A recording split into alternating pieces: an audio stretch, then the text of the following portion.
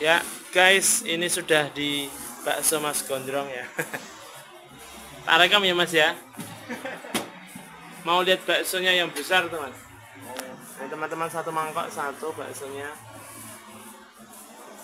Dan ini bakso urat semua ya. Yang digiling jadi satu. Kemudian dibuat bakso. Bahan-bahannya standar Mas ya.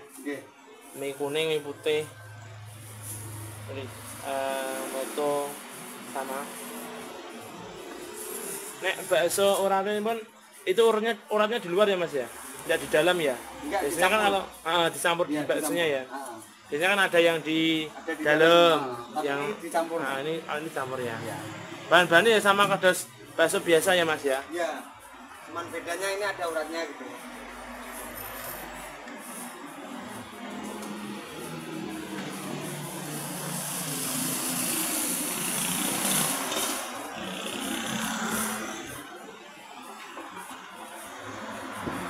Bakso mas gondrong daerah Bulusan. Bisa dicoba. Dekatnya Mas Pion ya. Dekatnya Mas Pion. Sebelum perempatan kecamatan. Bisa dicoba ya. Dan tempatnya bersih bisa dilihat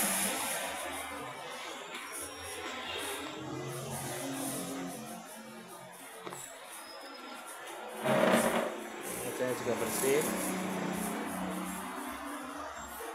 Nah, sampai nanti sampai kita makan baksonya.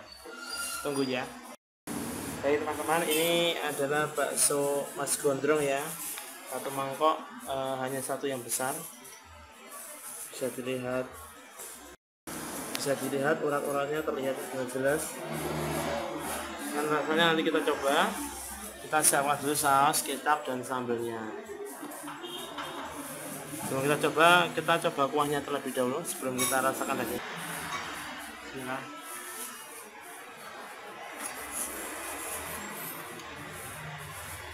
untuk kuahnya sama seperti bakso kebanyakan ya. Asin gurih. Sekarang kita eh, berikan sambal saus dan kecapnya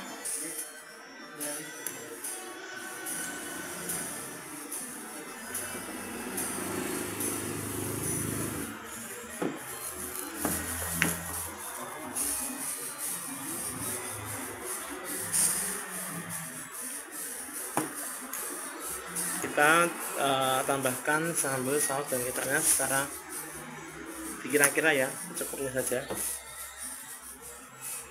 Kemudian kita aduk secara merata.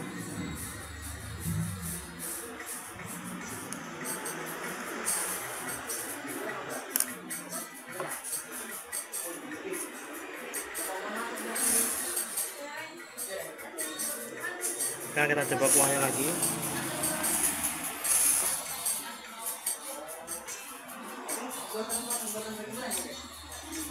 Rasanya mantap sekali. Sesuai ya.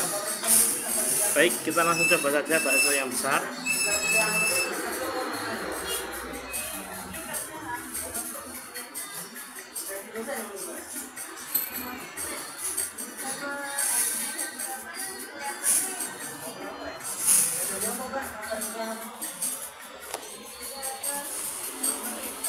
Kita coba.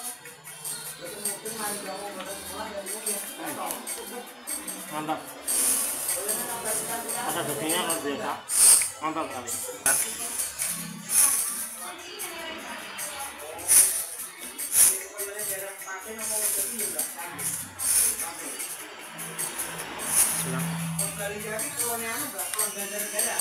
Hmm. mantap sekali rasa dagingnya. Kenyal. Agak keras tapi enak sekali. Tuh dagingnya terasa sekali. Uratnya juga sangat terasa ya. Sekarang kita coba bakso yang kecil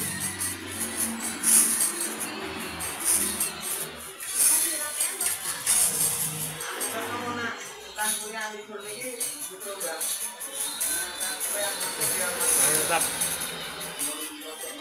sekarang kita coba kuahnya dengan kuah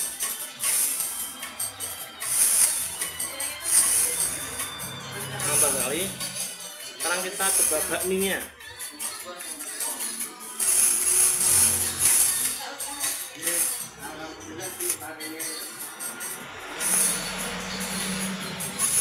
juga empuk secara keseluruhan mantap. Boleh dicoba di daerah Budusan sebelum perempatan kecamatan itu semoga bisa menambah uh, wawasan kuliner anda dan semoga bisa bermanfaat.